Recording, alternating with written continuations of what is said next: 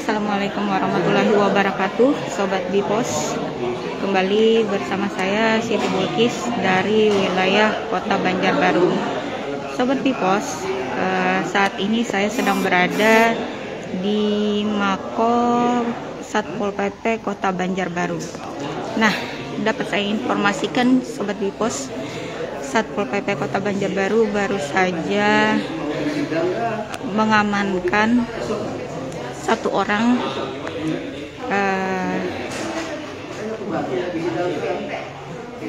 diduga PSK dan juga satu orang laki-laki di salah satu uh, kos di wilayah kota Banjarbaru. Di depan ini adalah kedua dari yang bersangkutan. Nah saat ini sekarang sedang diberikan pembinaan oleh uh, pihak satpol pp yaitu oleh Pak Yanto dan juga uh, Bapak Rusli yaitu dari PPNS Satpol pp Kota Banjarbaru terhadap kedua uh, pasangan ini. Nah ini Pian nanti tanda tangani lah bersedia dititipkan. Nah, nah Pian dititipkan di rumah singgah namanya. Hmm di singgah dinas sosial. Hari ini pernah pernah. Tahu dari mana. Nah itu yang di sehari di situ. Besok pagi harus diambilin sama kawan kita ke sini malah pernyataan acara pernyataan. Sanksinya dia diusir di kos itu dia dengan bersedia kita rumah singgah sampai proses penyidikan. Artinya kita penyidikan kita sampai besok pagi pasangan kedua pasangan ini. Dan juga ada satu temannya. Uh, akan dititipkan di rumah singgah. Mungkin halus saja di rumah singgah dinas sosial kota Banjarbaru.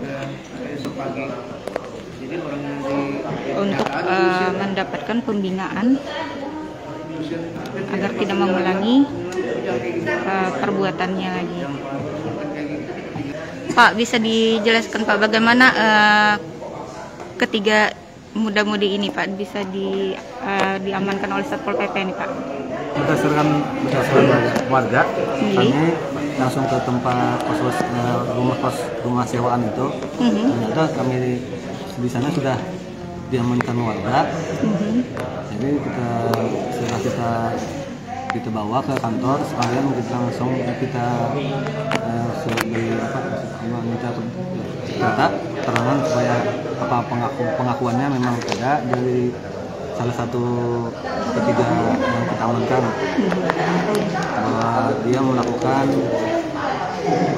prostitusi online terus yang satunya tidak mengaku karena berteman aja.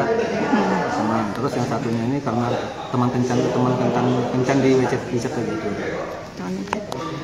uh, ini nih pak uh, pas ditemukan di kosan itu sedang apa pak? Menurut ke ke warga dia cuma di dalam kamar. Mm-hmm. dalam kamar itu diamankan di warga. Mm-hmm. dia sudah sudah diamankan sudah di apa sudah diamankan untuk dibawa dijemput oleh satpol pp Pak uh, tadi kan ada ditemukan obat. Ya. uh, uh, nah itu uh, obat apa Pak? Dan pengakuan dari salah satu yang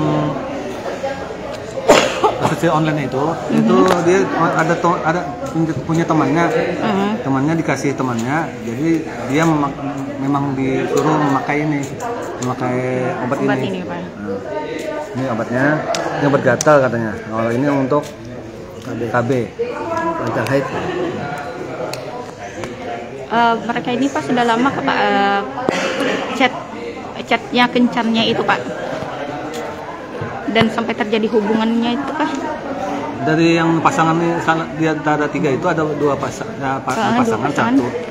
Yang satunya itu cuma teman teman WeChat mm -hmm. baru dua, dua tiga hari eh tiga dua hari baru kenal. Jadi asal mulanya dia yang dicari itu dia mau ke Batakan pantai Mhm. jadi sudah sudah pulang ke Batakan dia kemalaman jadi disuruh nginep di pos-posan itu. Di di, di- sesudah sesudah ditawarkan eh, apa eh, nginep di situ jadi ada hubungan ada berhubungan intim. Di luar, di luar nikah. Selama dua kali ah sama apa? Eh, cuma dua kali aja. Dua kali. Dua kali. Itu eh, ada tarifnya apa Pak? Eh, mereka nih? Tidak ada tapi kalau yang pengakuan dari perempuannya itu dia sama lain yang lain pasangan lain dia ada tarif 400 Oh, 400 berarti selain sama ini sudah pernah sama yang lain juga Pak ya? Ya, Pian sudah berapa lawas eh kayak ini? Baru aja. Barunya tuh siapa? Hmm. Kenapa? Jadi Pian melakukannya tuh akun apa? Kemauan sendiri. Pian eh, masih sekolah kah atau masih sekolah? Ah. Harusnya kan Pian sekolah. Kenapa jadi anu?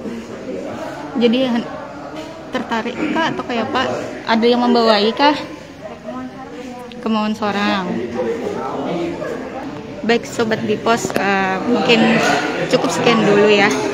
Itu tadi dari eh, penjelasan dari pihak Satpol PP terkait keduanya eh, dua muda-mudi ini dan satu temannya itu yang eh, tetapi tidak ikut ya tapi dua pasangan ini saja yang diduga berhubungan ya berhubungan seperti yang dijelaskan oleh eh,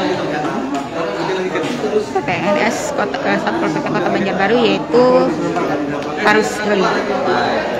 Baik sobat Pipos, eh, cukup sekian dulu informasi yang dapat saya sampaikan. Terima kasih atas perhatiannya. Assalamualaikum warahmatullahi wabarakatuh.